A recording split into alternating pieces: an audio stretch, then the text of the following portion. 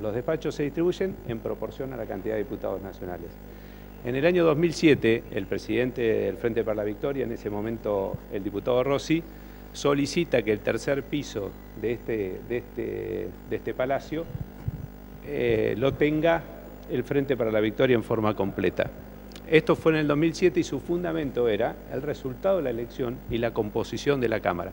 Es decir, que había un fundamento lógico por el cual el presidente tomó la decisión en ese año de ceder todo el espacio del tercer piso. ¿Tenía potestad de hacerlo? Tiene potestad, el presidente ayer dijeron que no lo tiene, parece que el presidente del Frente para la Victoria lo tiene, el nuevo presidente no la tiene esa autoridad. El presidente tiene esta autoridad de distribuir porque si no sería el árbitro de los diputados nacionales, que de hecho lo es. Ayer me enteré que se llaman despachos calientes los despachos donde se queda un diputado nacional para que nadie se lo tome, que se va y que termina su mandato para dárselo a su amigo que viene en, la próxima, eh, en el próximo periodo. Esto es lo que tenemos que cambiar.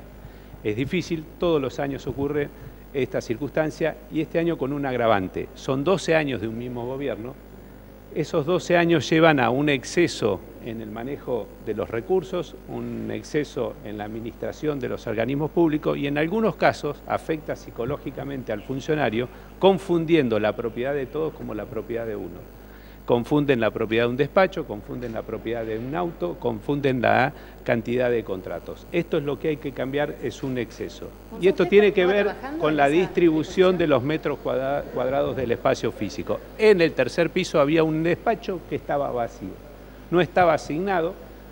Están mostrando un portal de internet que el portal de internet, para aclarar, entra cualquier diputado y pone su perfil, pero esto lo pone un diputado nacional con su propia clave pone el teléfono, pone eh, su profesión, pone todo su perfil y su despacho. Eso lo, eso lo llenó su propio bloque, pero nunca fue asignado de parte de la administración de la Cámara. Entonces no, la distribución no ha hecho la distribución, el único espacio libre que tengo es ese despacho que puede quedar para el diputado nacional Máximo Kirchner si en la distribución que tenemos que dialogar, cosa que no está acostumbrada una parte del Frente para la Victoria, porque hay otra parte que dialoga permanentemente conmigo, el presidente del, bloque, el Frente para la Victoria, ya nos hizo dos, a mí me hizo personalmente dos denuncias penales en 20 días de función.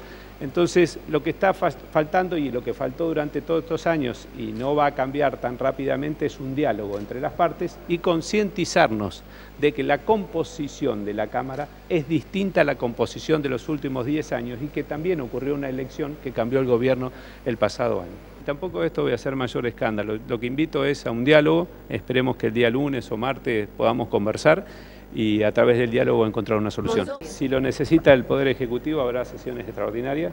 Eh, por ahora el presidente de la Nación ha marcado que va a comenzar a mandar las leyes en el periodo ordinario y el mes de febrero es un mes que vamos a aprovechar para la distribución de las comisiones en esta Cámara, que es también un tema importante para el normal funcionamiento durante el transcurso de este año.